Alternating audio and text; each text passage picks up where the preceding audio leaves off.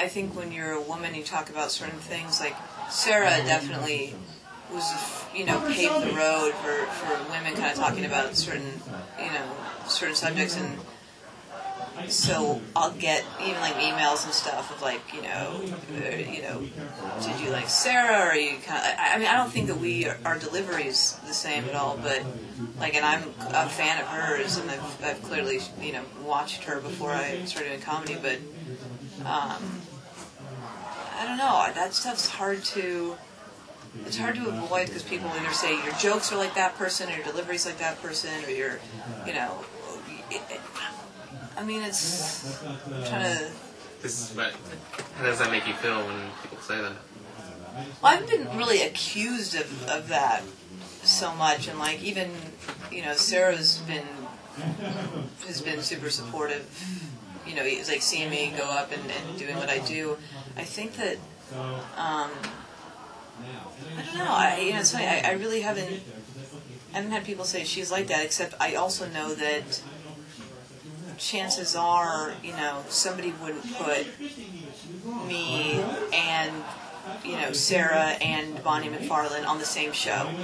You know, just because. Well, whoa, there's those are three women who happen to say things that are moderately offensive at times. Like, it, it's a weird thing. I mean, I think if it happens. It's harder for women too, because a lot of times there's one woman on a show or two women on a show, and you know, it's. Uh, I don't know. It's weird. It, it's. Uh, I'm not being super articulate about it, but.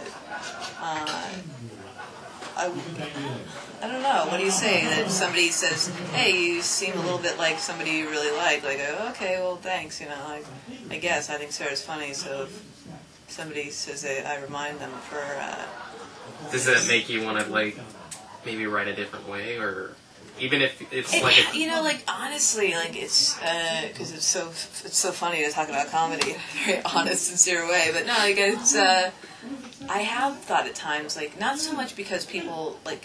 I think I'm I'm, I'm exaggerating the, the Sarah stuff. Like it's not because people have said you're like Sarah. It's looking at a kind of a new school of comics come up, and it's weird for me to say that because I guess I'm, I'm still fairly young, but. Uh, there's a lot more women kind of going for you know the sort of uh, the, the rape jokes and the abortion jokes and you know the cunt jokes and whatever they're going to say. And it's done without um, you know sort of without regard to really crafting a great joke you know? So suddenly there's there's you know a new like a crop of, of girls on stage saying blah blah blah blah rape blah blah blah blah you know abortion. And then you're like okay well I, i'm not a big fan of that joke but like it also makes me think ah, i shouldn't even do these jokes anymore because you know a lot of audiences only hear that that one kind of trigger word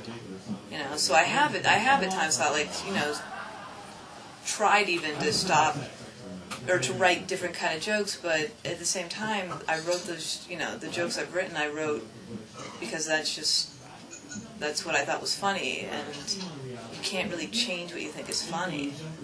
You know, I could write, I could write a totally different way, but that it would all be sort of uh, fake. I wouldn't really know if what I was saying was funny or not.